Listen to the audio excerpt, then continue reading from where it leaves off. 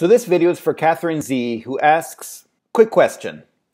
I was born in Russia, but I grew up in Greece, so now I'm fluent in both Greek and Russian, have a C2 level of English, and a beginner's level in Japanese. So how can I start translating without having to focus primarily on one or two languages? My entire life so far was a constant translation of word, people, and cultures. I would like to use my knowledge and talent in order to financially support my family. But I always end up feeling lost somehow.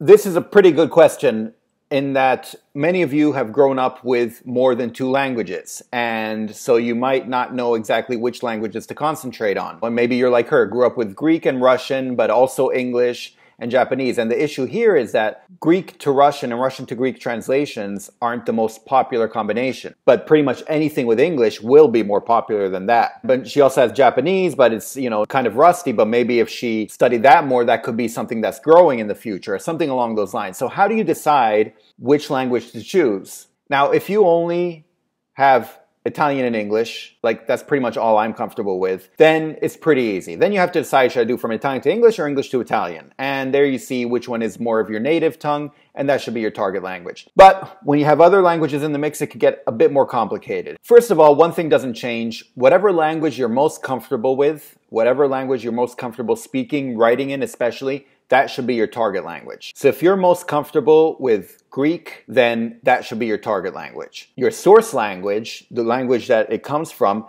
that's a bit more intercha- interchangeable. If you feel most comfortable, say, I'm, I'm guessing here, but let's say it's Greek then you could translate from Russian into Greek, but also from English into Greek. And there again, which one do you choose? Well, there is sort of a trade off. Chances are there's a lot more demand for English into Greek. And so if you just sign up as an English into Greek translator, then you can probably get a lot more business. But while there's not much demand for Russian into Greek translations, you could charge a lot more for that because there are a lot fewer translators offering that. So I would guess, now I have no idea, but I would guess that the standard rates you get for English to Greek translations will be lower than Russian to Greek translations. It is a trade off and it's hard to figure out. So, how do you deal with it? My advice here would be to sign up again for one of the main websites. Once again, they're ProZ, Translators Cafe, and Upwork, and, and others depending on your language combination because they're different for every country and every region and every language. But to sign up for these, and at the beginning, just list all these languages. In this case, I would skip Japanese just because it's not at that level yet, but I would list English, Russian, Greek. If Greek is the language you're most comfortable in, once again, I'm just guessing,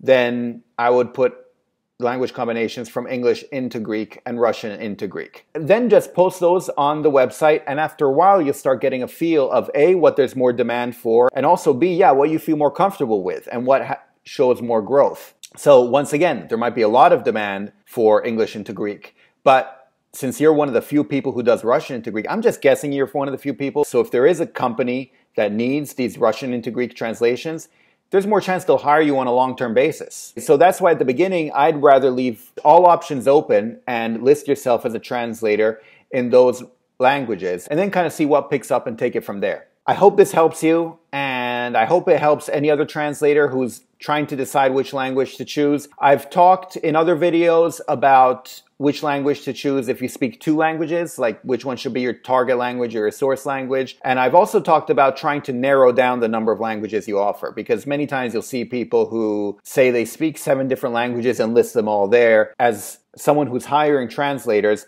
that sets off a red flag because you're like, okay, you're not fluent in seven different languages. So how do I know which one to hire you for? That's why I definitely think eventually you should concentrate on a certain language combination. But when you start off, you don't know what it'll be. You can guess, but you really don't know. You don't know what companies are out there and what they're looking for. So at the beginning, leave the possibilities open, but keep in mind that eventually you do want to narrow it down so you can become more specialized in that area and you can become an expert in that language combination for whatever field you're dealing with. So I hope this helps you out there. Please, if you find this useful, feel free to leave a thumbs up, a like, or share it with someone else who you think might find it useful. And if you subscribe, you'll get more videos like this right directly to you that deal with freelance translation, freelancing in general, and that hopefully you can find useful in the future. So I'll talk to you next time. Thanks. Bye.